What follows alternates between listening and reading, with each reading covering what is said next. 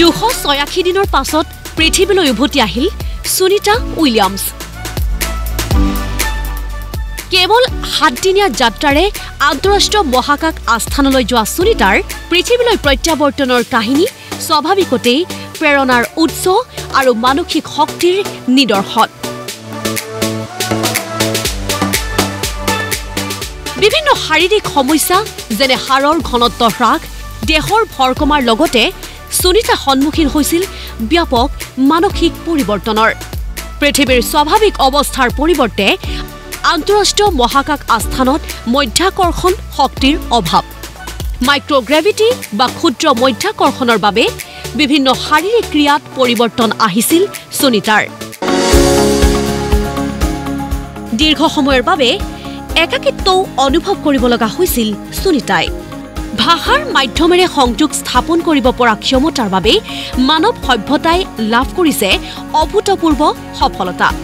কিন্তু মহাকাশত মন গলেই কথা পাতিব পৰাকৈ মানুহৰ উপস্থিতি নাছিল। সন্মুখা সন্মুখীকৈ মানুহক লগ কৰি মনৰ ভাৱ ব্যক্ত কৰাৰ সুযোগ সুনীতাৰ নাছিল। নিৰ্দিষ্ট আকাৰৰ এক সজ্জাৰ ভিতৰতে ন মাহ কটাবলগীয়া হৈছিল সুনীতাই।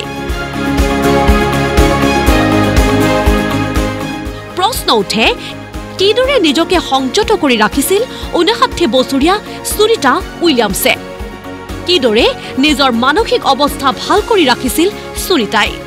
কিদৰে হঠাৎ জীৱনলৈ অহা অকল্পনীয় পৰিৱৰ্তনৰ সৈতে খাপ খাইছিল সুনীতাই?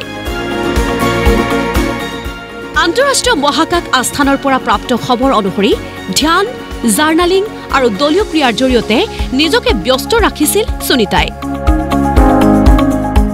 শূন্য মধ্যাকৰ্ষণ থকা স্থানত সুনীতাই কৰিছিল খেতি। শুনিবলৈ আচোফা যেন লাগিলেও সুনীতা উইলিয়ামছে মহাকাশ আস্থানত কৰিছিল নিজৰ প্ৰিয় বস্তুৰ খেতি। লেটিছ বা চিনালাইৰ খেতি কৰি নিজৰ সময় অতিবাহিত কৰিছিল Sunita উইলিয়ামছে।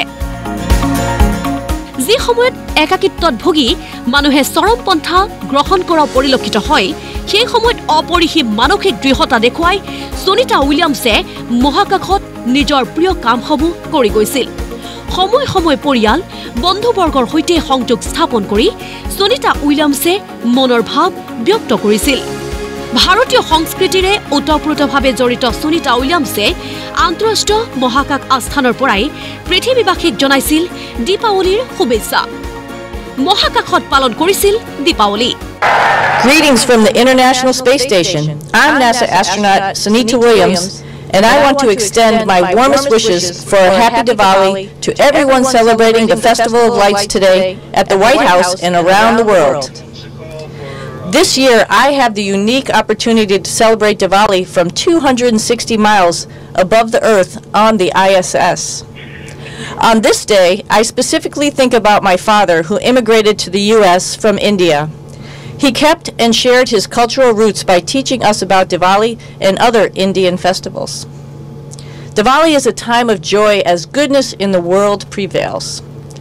I am so thankful to have grown up in a multicultural household where our parents encouraged us to seek opportunities and reach for the stars.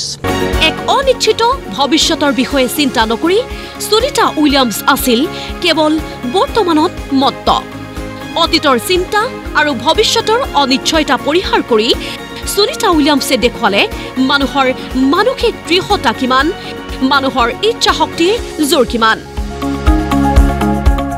International desk report Pratidin time